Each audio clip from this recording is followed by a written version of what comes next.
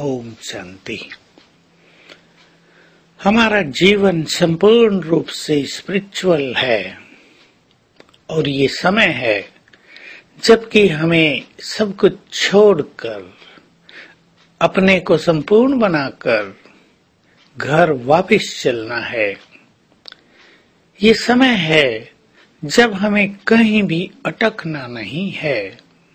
अगर हम कहीं भी अटक जाते हैं तो हमारा बुद्धि योग नीचे रहेगा और हम योग का परम आनंद नहीं ले पाएँगे। संगम युग पर विशेष रूप से न्यारापन और प्यारापन, ये परम आवश्यक है।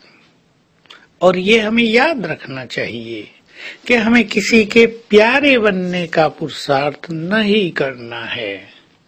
भगवान वाच है, जो दूसरों के प्यारे बनने का पुरुषार्थ करते हैं, वो प्यारे बनने की बजाय और ही दूर हो जाते हैं न्यारे हो जाते हैं। वास्तव में जो जितने देह से न्यारे बनेंगे, वो उतने ही सबके प्यारे बनेंगे।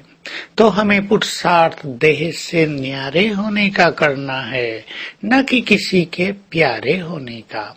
क्योंकि प्यारे होने से अटैचमेंट हो सकता है, लगाव हो सकता है, झुकाव हो सकता है, और हमारा बुद्धि योग नष्ट भ्रष्ट हो सकता है, जो हमारे लिए आगे चलकर बहुत बड़ा नुकसान का कारण बन जाता है।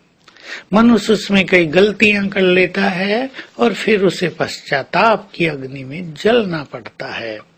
तो हम लक्ष्य बनाए, जब हम संगठन में रहते हैं, जब हम सेवाओं में रहते हैं, जब हम दूसरों के संपर्क संबंध में रहते हैं तो न्यारे भी रहें और प्यारे भी रहें। प्यार दें और न्यारे हो जाएँ। प्यार देकर कुछ कामना न करने लगे। प्यार देकर मनुष्य रिटर्न में प्यार चाहता है। वहाँ समस्याएँ पैदा हो जाती हैं। हमारा काम बाबा की तरह है। जैसे बाबा प्यार का सागर है, हमारे पास आता है, सबको बहुत प्यार देता है और फिर सेकंड में न्यारा हो जाता है। तो प्यार का सागर भी है और निर्मोही भी है। कितनी बड़ी स्थिति है। वैसी स्थिति लविंग एंड डिटेच्ड दोनों, न्यारे और प्यारे, ये हमें बनानी है। सेवाओं के फ़ील्ड में हम रहते हैं। एक दूसरे के साथ बहुत प्यार से हमें रहना है। और फिर कार्य पूरा हुआ। एकदम देह से न्यारे होकर बाबा के पास उठ जाना है। ये होगी प्यारी स्थिति और सबसे न्यारी स्थिति डिटैचमेंट बहुत सुंदर चीज़ है। हमें वस्तुओं में भी न्यारे और प्यारे होना है। मान लो हमारे पास एक बहुत ही सुंदर कार है। हम उसको यूज़ करते हैं। हमारा उससे बहुत प्यार भी है। लेकिन अवस्था ऐसी बनानी है, यूज़ किया, बहुत अच्छा। पूरा हो गया डिटैच जैसे हमारा उससे कोई नाता नहीं। हम संभाल भी करेंगे, लेकिन विद डिटैचमेंट माँ अपने बच्चों के साथ रहती है, उन्हें प्यार बहुत देना है, लेकिन एक सेकंड में स्वयं को देह से न्यारा डिटैच भी कर लेना है। ये न्यारी और प्यारी स्थिति जो सभी को बहुत प्रिय लगेगी, हमें बनानी है और हमें बहुत आगे बढ़ना है।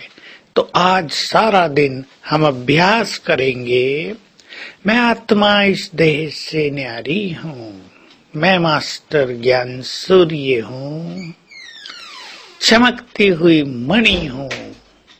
मुझसे निकली हुई रंग बिरंगी किरणें दूर दूर तक फैल रही हैं। मैं बहुत तेजस्वी हूँ। साधारण आत्मा नहीं। ऐसी आत्मा नहीं जो केवल प्रकाशमान है, बट मैं बहुत प्रकाशमान हूँ, मास्टर ज्ञान सूर्य।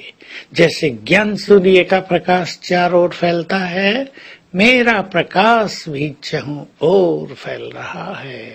और सामने है ज्ञान सूर्य शिव बाबा। उन्हें आँखों के सामने देखेंगे। सामने उनकी रंग बिरंगी किरणें फैल रही हैं। ये बहुत पावरफुल योग है।